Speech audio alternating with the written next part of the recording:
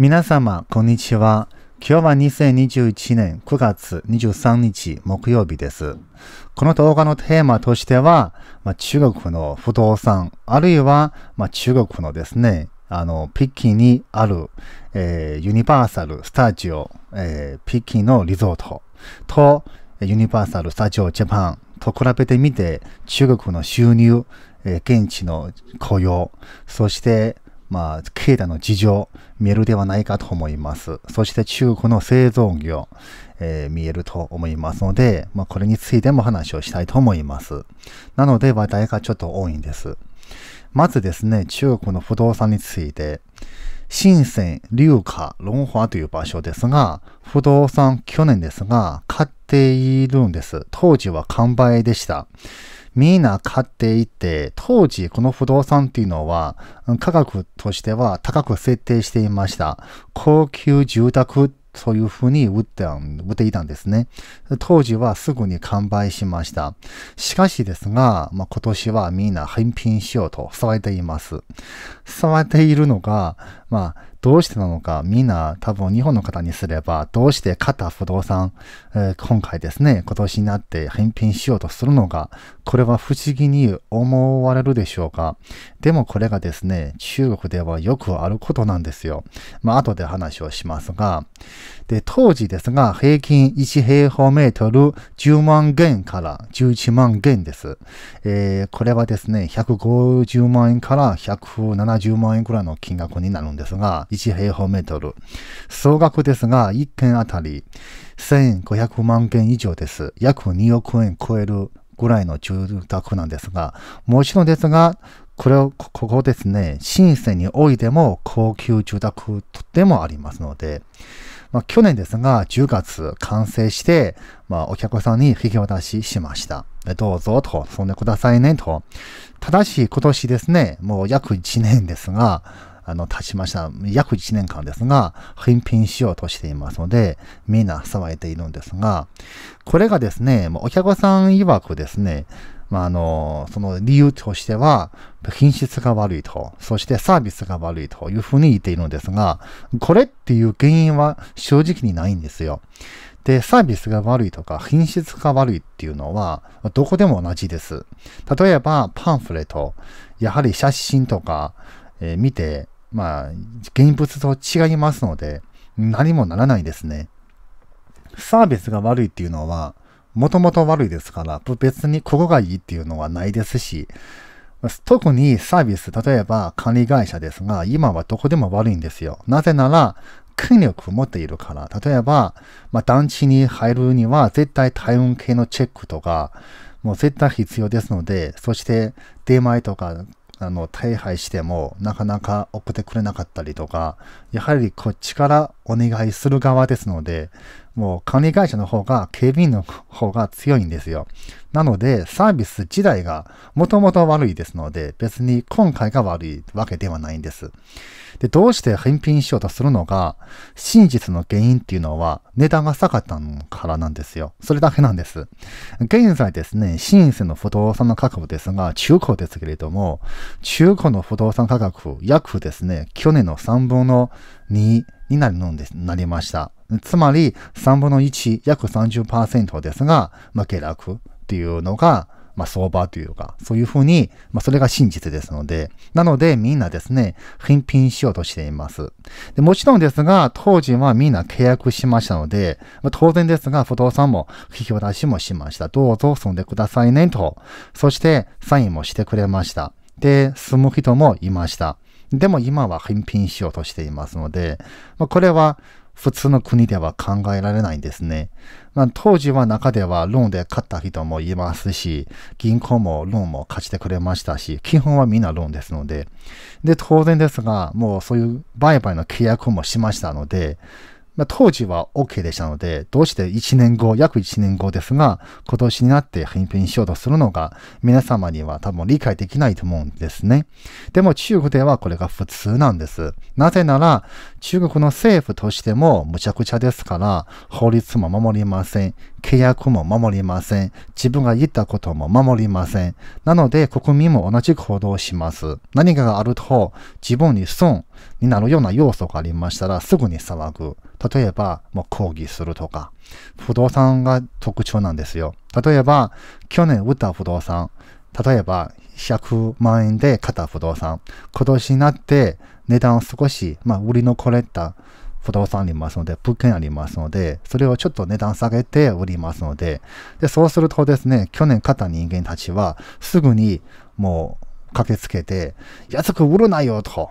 で、むちゃくちゃにしますのでね、モデルハウスをぐちゃぐちゃにしますから。で、それが怖いっていうことで、不動産企業もなかなか値段を下げて販売することはできないんです。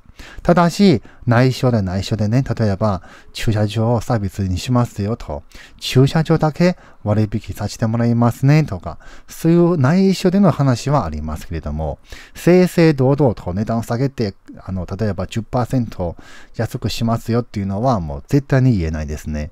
怖いんですよ。まあ、まさにですね、以前の動画でも話をしましたが、まあ、約束も守りません。契約も守りません。政府も守りませんし、国民も守りません。なので、もうむちゃくちゃ、これが現実です。まあ、あの、話、まあ、続きますので、広大不動産ですが、今日、利息の支払いはできました。えー、今回の発表では、2020年9月23日から2021年9月23日、までこの間の利息を支払いますよと40億元でした。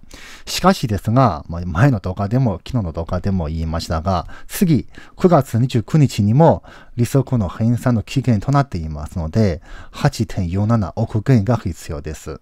約10億円ぐらいでしょうか。えー、ぐらいですか。約100億、120億円ぐらいが必要なんですよ。なので、もうこれが毎月ですから、請求が来ますので、次に1回来るか、次に2回来るかの話ですので、まあ、ただ金額は変わります。これが支払えるのか、えー、っていうのは、まあ見てみ、見てみたいというふうに思います。これがこれからですね、ずっと来ますので、あくまでも利息ですから、もう元金っていうのはこれからの話ですので、それがですね、もう怖いですね。恒大というのは不動産ですが、国際金融市場に影響していますよと。ドル建ての債券を発行していますので、利息がとてもいいんです。まあ25%が基本ですから、まあ、買ってくれる投資機構が実に多いんです。次ですが、日本でも報道されていますが、ピッキンユニバーサルリゾートというのがありまして、まあ、ピッキンえー、ユニバーサルピッキンリゾートと言いますが、えー、2021年9月20日にオープンされました。2001年、ユニバーサルスタジオっていう、まあ、企業ですが、ピッキンの政府と契約しました。まあ、共同経営っていう契約ですが、それから計画されてちょうど20年間かかっているので、まあ、やっとオープンしました。従業員の多くは現地採用なんです。やはり当時ですが、田舎の土地を、まあ、取るということですので、あの、その条件ですね。あの、うちの子供を雇ってくれませんかっていうのが、まあ、条件はありましたね。で、そして現地の、その田舎の子供、まあ、田舎の子供たちを優先的に、あの、採用しますよっていうのが約束でしたね。ただし、ほの少しです。そして、あの、ピッキーの通州市ですが、大きな市ですが、4つの職業訓練学校と契約しました。優先的に学生を、そこの学学生をですね、受け入れますよという契約はありました。今回ですが、まあ、TikTok とか声ショーなどでも見えるんですが、みんな楽しいんですが、まあ、今回ですが、私はその舞台の裏話、裏の話をしたいと思います。ユニバーサルピッキンリゾート UBR と言いますが、まあ、1万4000人の従業員でいますので、9000人ですが、寮に泊まっています。この9000人っていうのは地方から来ているっていう意味ではありますので、残りは、まあ、自分の家にとか、外で泊まったりとかできますが、つまり、寮に泊まるイコール住み込みっていう意味です。一つの部屋っていうのは 3DK ですので、3人住み込みはできると。1ヶ月の家賃600元です。約1万円です。まあまあ、ピッキーにすれば安いです。2019年、14棟の社員寮を建設完成しました。9000名住むことは可能です。食事について毎月21万円のチケットをもらいます。まあ日本の方も中国に、来られましたらホテルでまあ、ただで食べれるんですが、食事次ですが、のホテル多いんですが、食事のチケットをもらえると思いますので、で、1枚のチケットですが、朝ごはんと昼ごはんなんです。無料で食べることはできます。ただし、夜ごはんは自己負担です。21日間の勤務っていう意味ですが、それ以外の日、食べたいのであれば、25件が必要です。約400円ぐらいですが。で、25件払えば昼ごはん。で、そして10件は朝ごはん。150円ぐらいです。安いと思います。勤務の時間としては、えー、これがですね、まあ、あの、勤務時間っていうのが日本と違いますので、中国では。で、四半期ごとなんですよ。で、例えば3ヶ月ごとなんです。まあ、っていうふうに計算されますが、これから説明しますので、まあ、非常にずるいんですよ。中国の場合ですが。勤務時間、四半期ごと、四半期ごと、500時間勤務っていうのが規定なんですが、毎日21日間勤務とすれば、平均1日8時間の勤務となります。残業しましたら残業代は出ますと。これが法律ですし、まあ、あの、守っていますと。まあ、これが中国の技でもありますが、あるいは人事部の技です。中国の企業の経営者というのは、もう企業というのは普通なんですが、例えば、サラリーマンとかもそうですし、あの、そういう営業マンもそうですが、次の賞金、そして四半期ごとの賞金、そして年末の賞金、もう別々なんです。分かれていますので、まあ残業代っていうのも同じなんですが、月での計算はないんですよ。四半期ごとでの計算が実に多いんですよ。中国では。なぜならですね、このスパン、時期を長くするとですね、例えば先月残業20時間しました。例えばですね、今月っていうのは割と暇でした。そうすると残業はないんですね。そうするとプラマイゼロになるんですよ。で、残業代はゼロになりなりますので、まあ、これが目的なんですが、まあ、当然ですが、これが四半期ごとでの計算っていうのは、あの非常に、まあ、そういう従業員にとっては、都合は良くないんです。でも企業にとっては、まあ、都合がいいんです。もっとあるのがですね、例えば先月、土曜日、日曜日出勤しました。本来なら、まあ、残業代はつきますけれども、あの、特別、あの、そういう日の残業もつきますが、非常に高いんです。本来ならですね。でも、企業はみんな守らないのが普通なんです。先月は土曜日、日曜日みんな出勤しました。出張もそうですし、行きました。出張も出勤ですので。でも今月は割と暇ですから、もう休んでくださいねと言われます。で、プラマイゼロになります。なので、残業代真面目に払うっていうのは、あんまり聞かないんですね。それが、まあ、事実なんですが。で、ユニバーサルピッキーの給料体制ですが、接客係4500元、約7万5000円、社会保険などまあ、これは額面ですから、社会保険など引いて、それから手取りになりますが、3500元、えつまり6万円になります。家賃を引くと2900元、え5万円弱になってしまいます。リーダー5100元、高級リーダー600え6600元え、これは10万円になりますが、高級リーダーですが、額面ではもう10万円のえー、収入になりますが、ただし一般の方でしたら、家賃などを引くと手取り2900元、約5万円なのが収入なんです。毎月ですが、まず、北京の物価は非常に高いんです。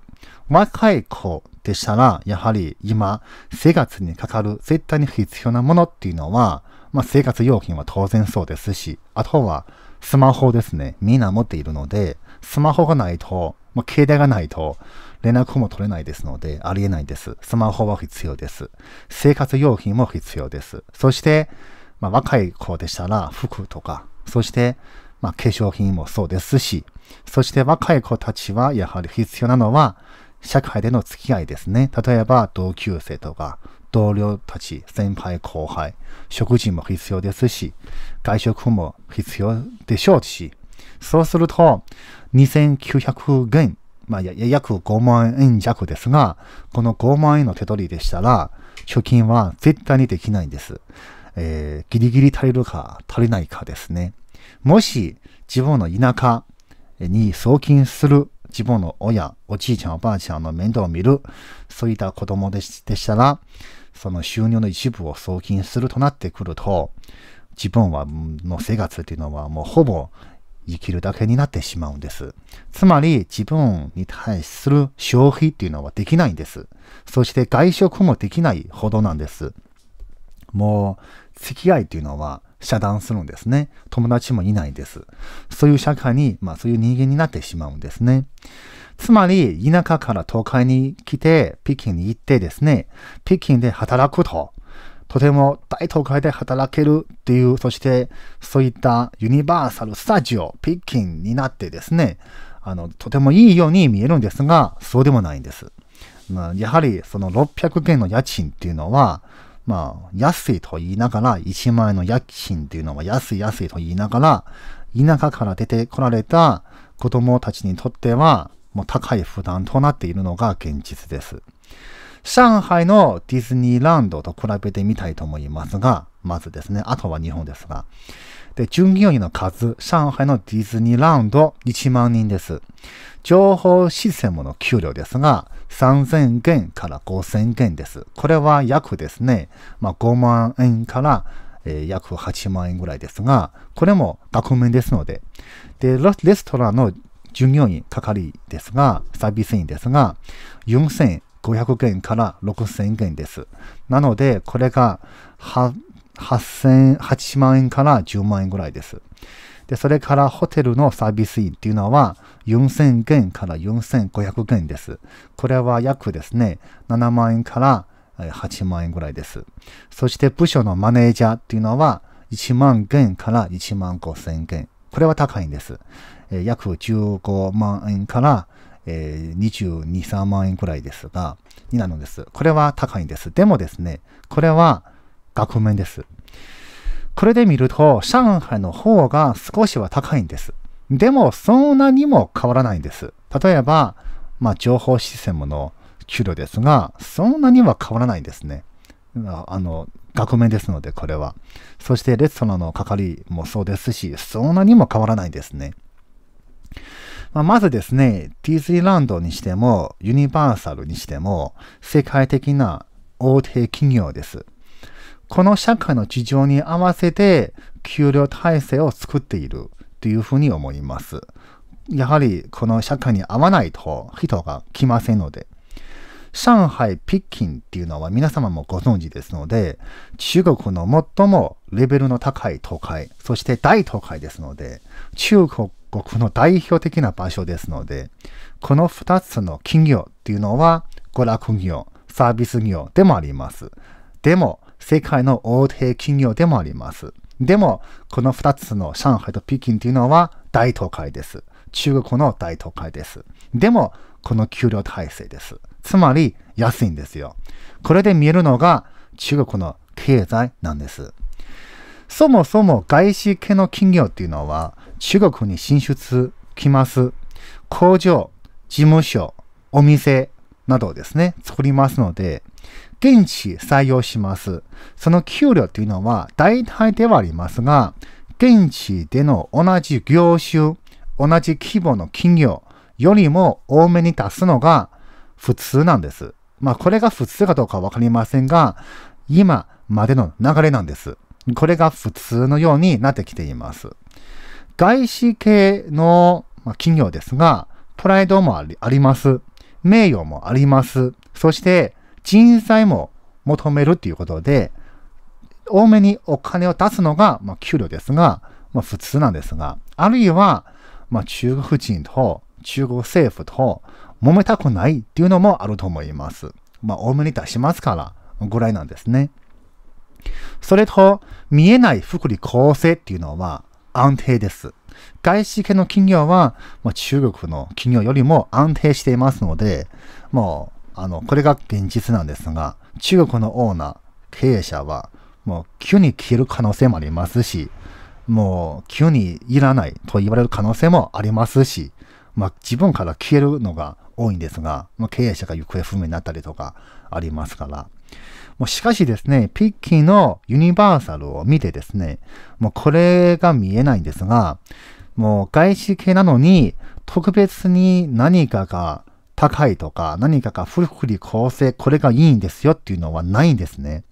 もう原因っていうのはやはり今の現状ではありますが、就職が難しいからなんですよ。人が多いからですよ。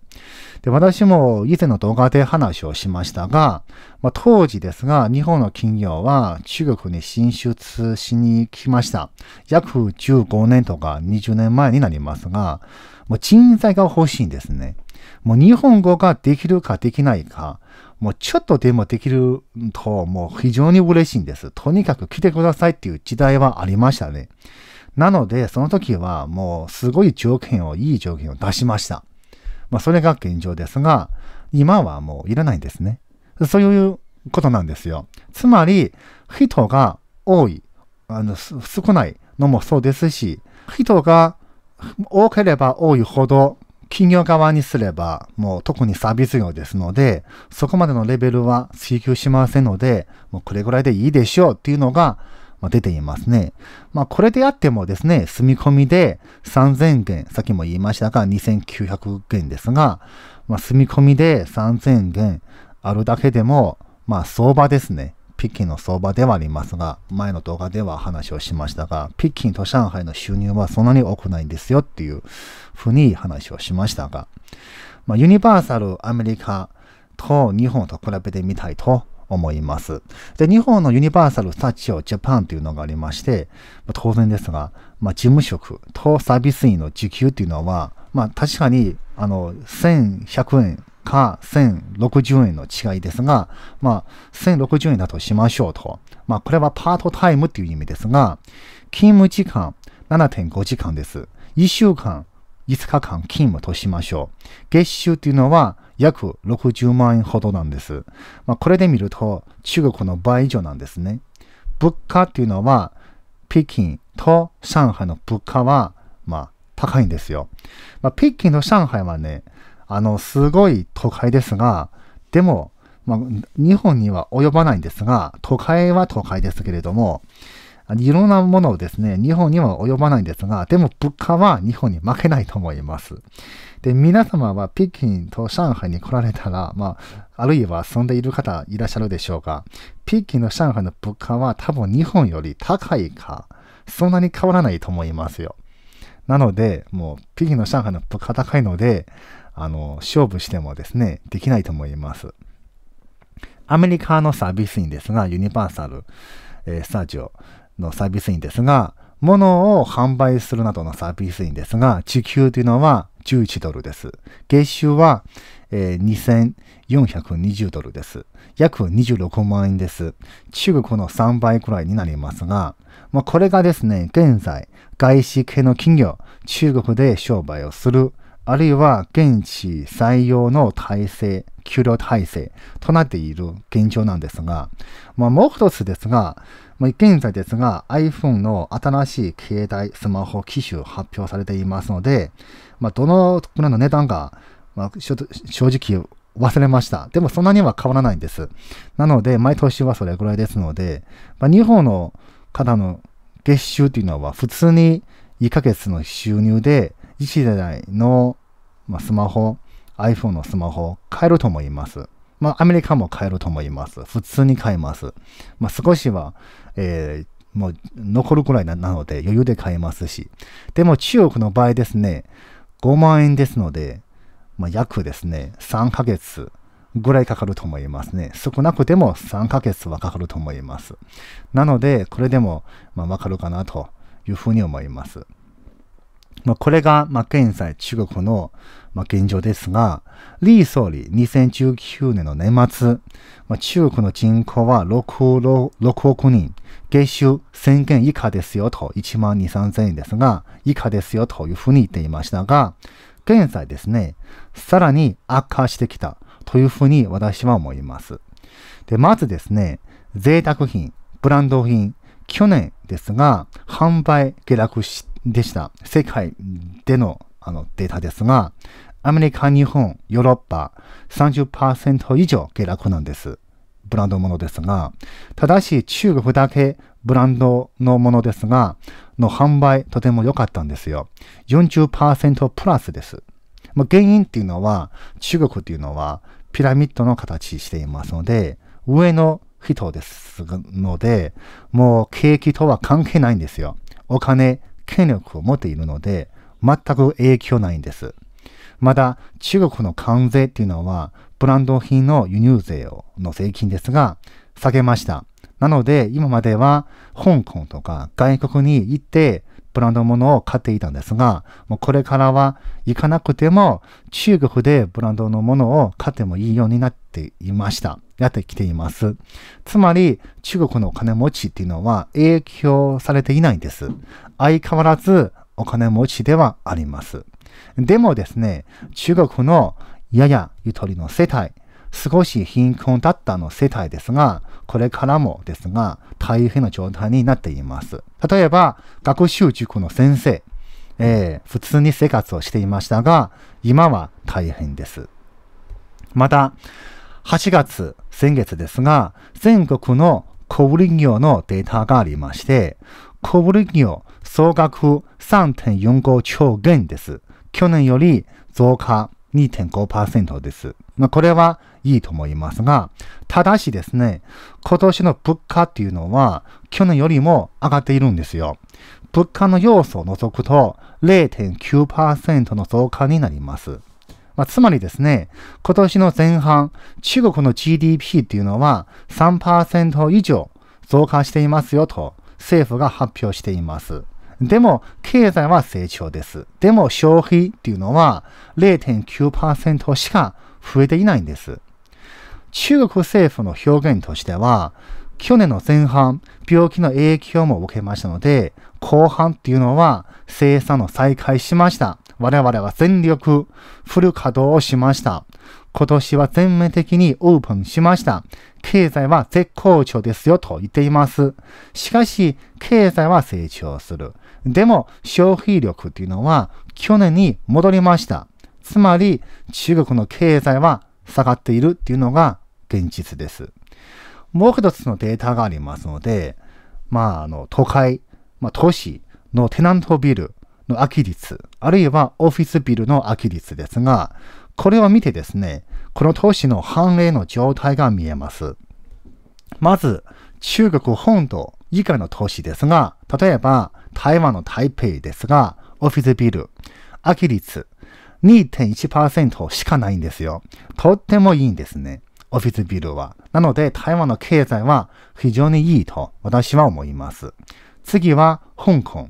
10.3%の空き率ですので、悪いと思います。これは17年ぶりです。つまり、香港の経済の状態が悪いです。次はマカオ。13.5%です。空き率。悪いところか、もう腐っていますね。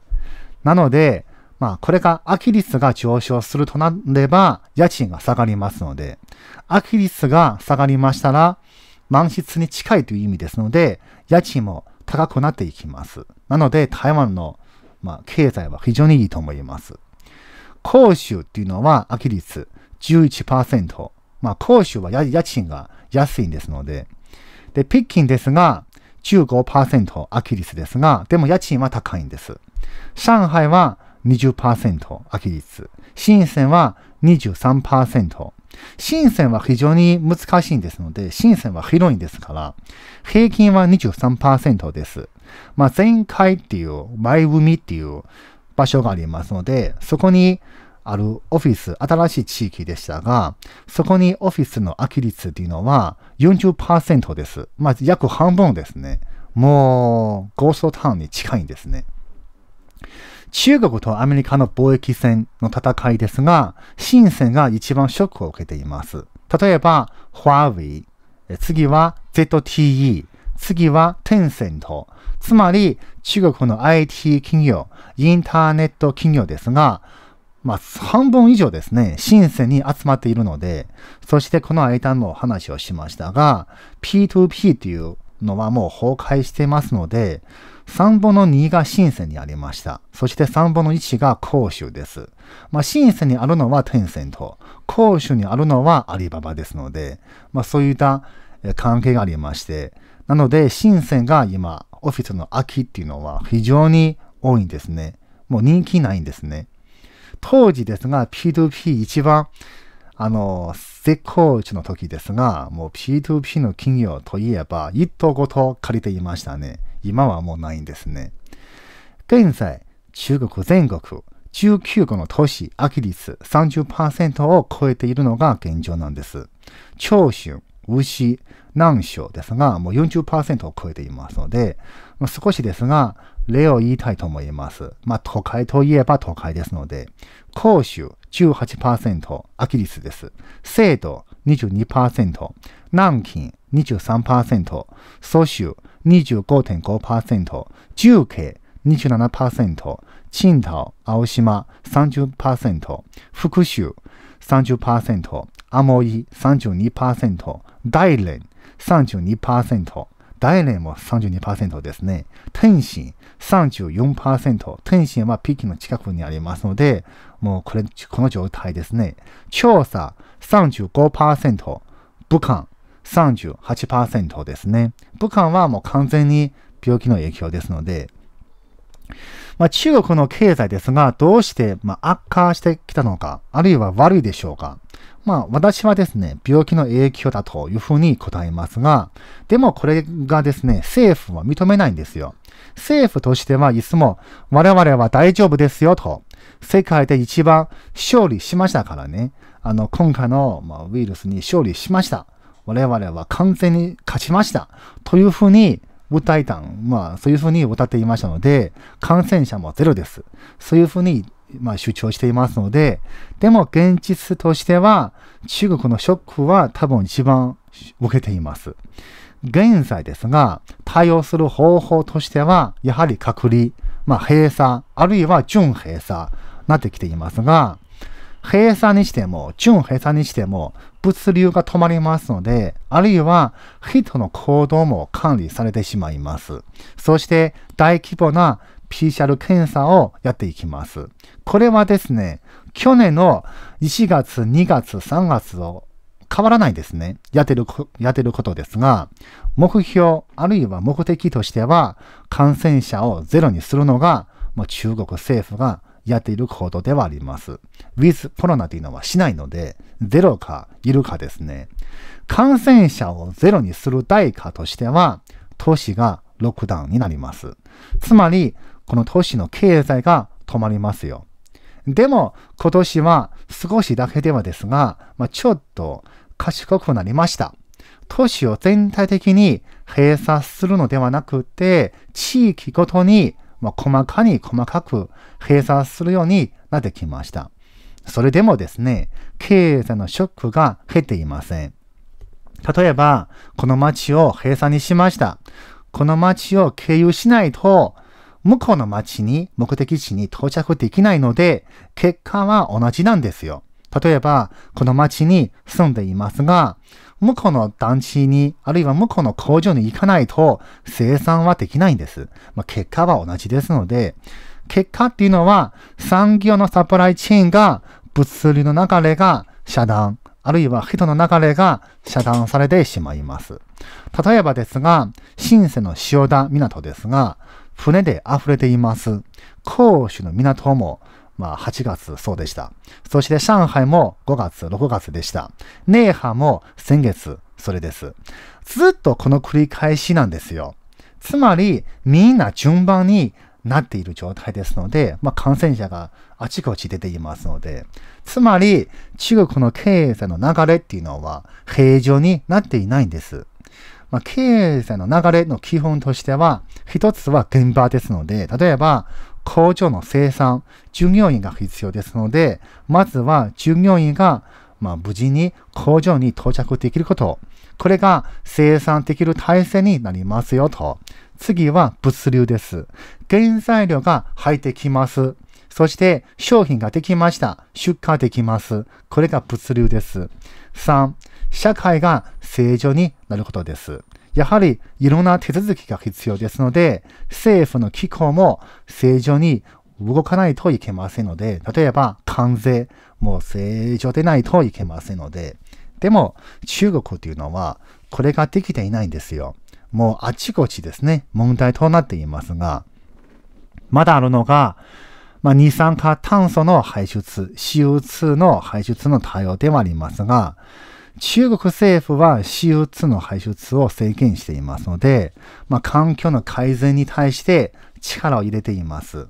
現在、アルミ製造をする企業ですが、アルミの製造量を減らしているというのが、まあ、現状ではあります。結果としては、アルミの値段が高騰です。本来なら、アルミの製造企業は嬉しいんです。まあ、これをきっかけにして、フル稼働して生産量を増やす。増やす、たくさん売れます。これは儲かる地域でもありますので、でも、これができないんです。できないから、アルミの値段はずっと上昇してきています。今回ですが、今ですが、2万3895件で1トンです。これは15年ぶりの値段になってきました。雲南省の政府が発表していますが、すべてのアルミ製造業、製造企業ですが、9月から12月まで今年、8月の生産量を基準にして超えてはいけませんよと指導しました。そもそも当時、前の動画では話をしましたが、8月の生産量というのは、去年の生産量を基準にして30%カットです。原因っていうのは環境の改善なんですよ。まあ、中国ではですね、政府が非常に強いんですので、これって言えばですね、これをやらないといけないんです。まあ、計画経済っていう意味でもありますが、まあ、中国の経済っていうのは、もう間違いなくこれから下がるところが、もうかなり下がると思いますね。もう腐るほど下がるではないかなと思います。なぜなら、政府の法律、まあそういう政策ですが、もうぐちゃぐちゃですね。もうまとまっていないんですよ。もう個人個人でやってる行動でしか見えないですね。例えば、生産のまあ、制限しますよと。これは環境の改善のためだと言いますが、でも、失業率、一切考慮されていないんですね。次は石炭ですね。石炭の輸入を制限する。なぜなら、石炭というのは高いからです。それをやっていますが、でもですね、石炭を輸入制限すると、石炭で発電するので、石炭を発電した電気、電気が高くなってしまいます。まあ、これの対応はやっていないので、まあ、つまりぐちゃぐちゃですので、まとまった人間というのはいないんですね。なぜなら、まあ、習近平だからですね。彼はいつも自分がパワーあると、力はあるという自信を持っているので、まあ、実際的にむちゃくちゃです。まあ、これですね、まあ、今回の動画では中国の、まあ、あの、そういうあ経済的な話をしましたが、まだ、まあ、まとめでもありますが、まあ、今回はですね、やはり今回のこのユニバーサルスタジオを見てですね、あの中国の収入と、えー、の時代ですね、あるいは現地採用、そういう雇用の収入について話をしましたが、この動画はここまでにしたいと思います。最後、いいねのボタンをお願いいたします。ありがとうございました。